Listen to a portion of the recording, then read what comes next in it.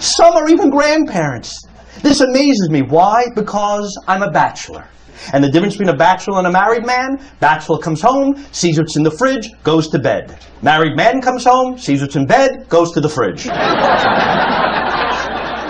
I, know a lot of couples that have been married 30, 40, 50 years plus, and I think to myself, how do they do it? How do they keep that bond going through good times and bad? I have a next door neighbor in Delray where I live, Herbie and Helene. Been married 73 years. 95 years old, Herbie. 95 years old. He's another one who lectures me on marriage. Peter, I've been married 73 years. And what I've discovered is that when your wife serves you a cup of tea with too much enthusiasm, have the dog taste it first.